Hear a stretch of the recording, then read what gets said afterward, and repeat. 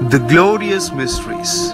The glorious mysteries are the crown of Jesus' triumphs. How exhilarating to know that Jesus is God and that He rose from the dead, thereby destroying death and making you an higher to heaven. Reminding yourself of these glorious events in the glorious mysteries as you pray the Rosary prayer will keep your faith alive and strong.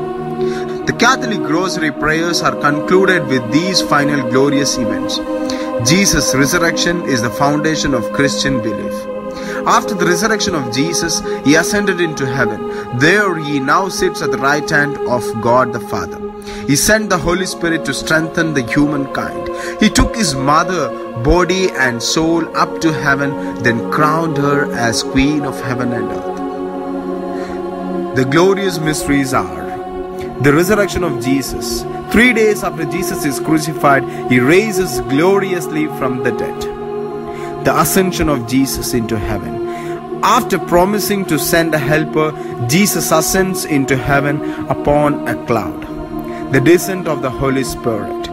The promised helper descends on the apostles and Mary and appears as tongues of fire on the first Pentecost. The Assumption. Mary is taken into heaven with body and soul. Coronation of Mary.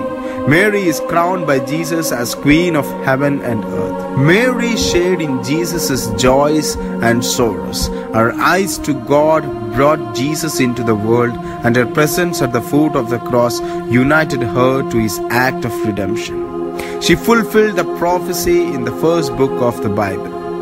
Having a clearer picture of the scene and significance of the glorious mysteries will greatly enhance your meditation.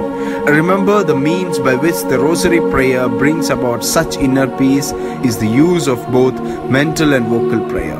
This is how your mind internalizes the events in the life of Jesus.